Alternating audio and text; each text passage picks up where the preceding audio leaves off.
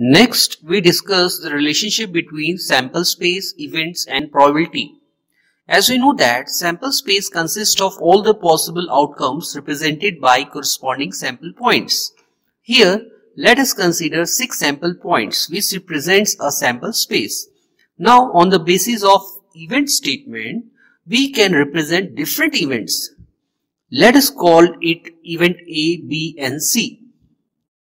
Here, sample point S1 represent an elementary event A that is based on event statement for example a case of throwing a dice. The event of one dot show correspond to only one sample point S1 and it is called an elementary event.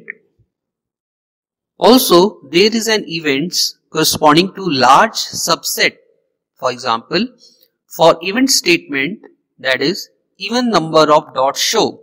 Then in this case, this event B correspond to subset of three sample points that is S2, S4 and S6. Similarly, the subsets S3 and S5 map to event C that is on the basis of event statement called odd number of dots greater than 1. So the subset is of only two sample points S3 and S5. So here we observe a relationship between sample space and event.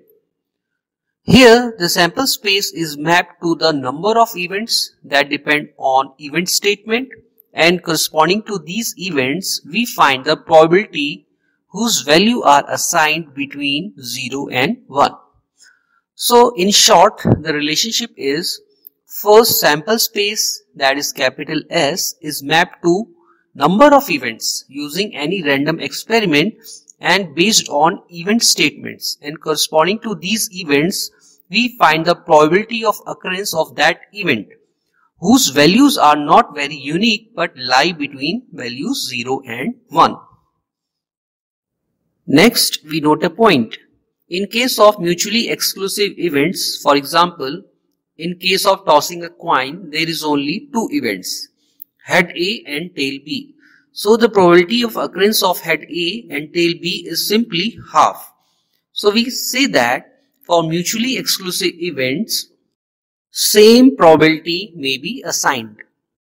And also for mutually exclusive cases, for sure events that is all outcomes or A union B, probability is always unity. That is probability A union B equals to 1.